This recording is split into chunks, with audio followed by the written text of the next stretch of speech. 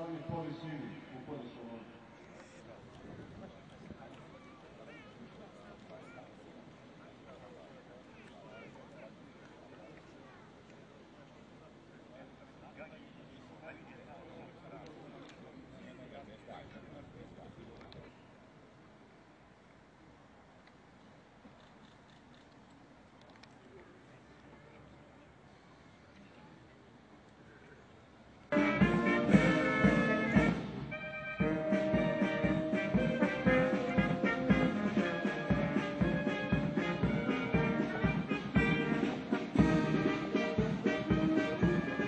Oficiri, podoficiri i vojnici, zdravo!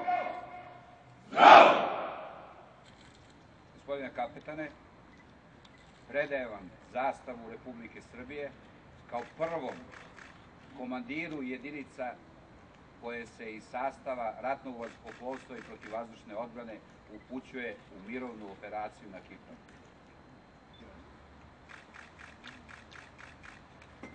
Gospodine general, mi pripadnici Vojske Srbije časno ćemo nositi državnu zastavu i dostojanstveno predstavljati Republiku Srbiju pred Ujedinjenim nacijama. Hvala.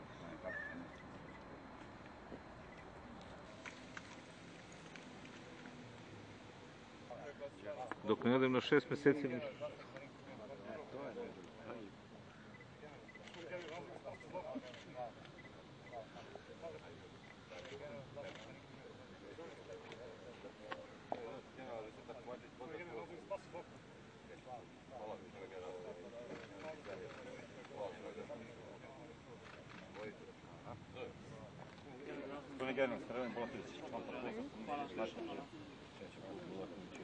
Generalne zastavnik Mihajlo Bogićević.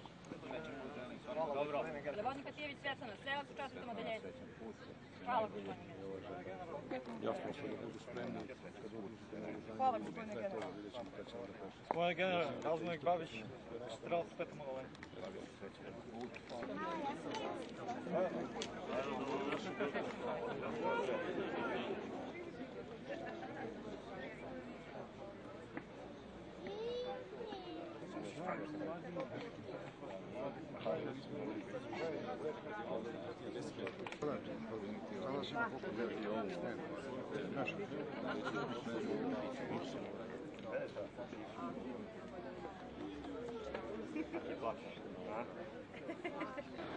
Ne bi pa ono sam se pravo.